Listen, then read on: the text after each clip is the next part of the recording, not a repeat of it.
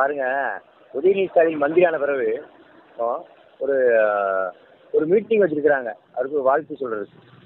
பாருங்க மக்கள் யாருமே போகல அப்படிங்காங்க அந்த மீட்டிங்கில் ஒரு அந்த கட்சிக்காரங்க தான் போயிருப்பாங்க கொஞ்சம் பேர்.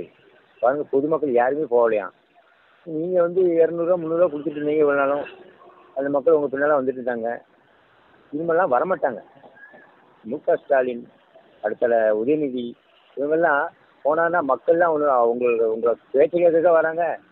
ஏதோ நீங்கள் இரநூறு முந்நூறு கொடுக்குறதுனால வந்துட்டு இருந்தாங்க பொதுமக்கள்.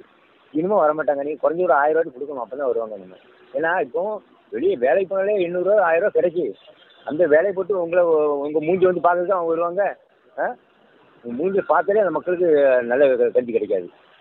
ஏன்னா தமிழ்நாட்டு நிலைமை அப்படி அப்படி ஆகிடுச்சு அது நீங்கள் ஆயிரம் ரூபா கொடுத்து பின்னால் கூட ரெண்டாயிரம் அந்த மக்களை உறிஞ்சி எடுத்துருக்கீங்களா பிறகு எப்படி வருவாங்க மக்கள்? மக்களில் வந்து கூப்பிடாமே வரணும்.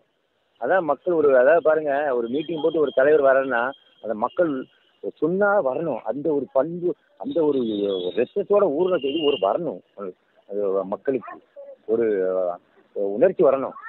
அது இப்போ வந்து அண்ணாமலைஜிக்கு வந்திருக்கு. மக்கள் பாருங்க எந்த இடத்துக்கு போனாலும் மக்கள் அலமோதிட்டு வராங்க. எந்த ஒரு இதுவும் கிடையாது. மக்கள் ஒரு திருப்பி அவங்க தெரிஞ்சாலே போதும் அண்ணாமலைஜி இந்த இடத்துக்கு வராங்க.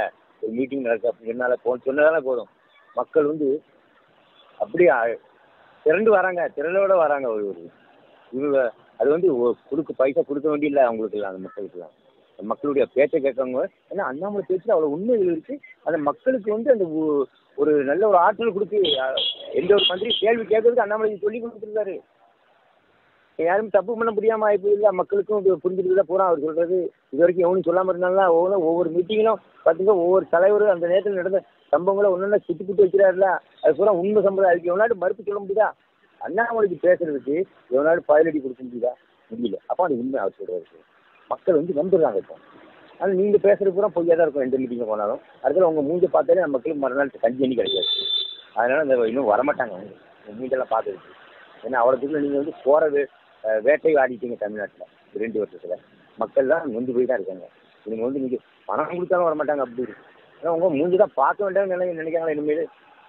அதனால் பாருங்கள் மீட்டிங் போட்டாராம். வாழ்த்து. அதாவது மந்திரி ஆனதுக்கு வாழ்த்து சொல்றதுக்கு மீட்டிங்கு மீட்டிங்கில் ஒரு முக்கியம் வரமாட்டாங்க இனிமேல் நீங்கள் இப்போ ரோட்டோட போக வேண்டியதான் பிரச்சாரம் பண்ணி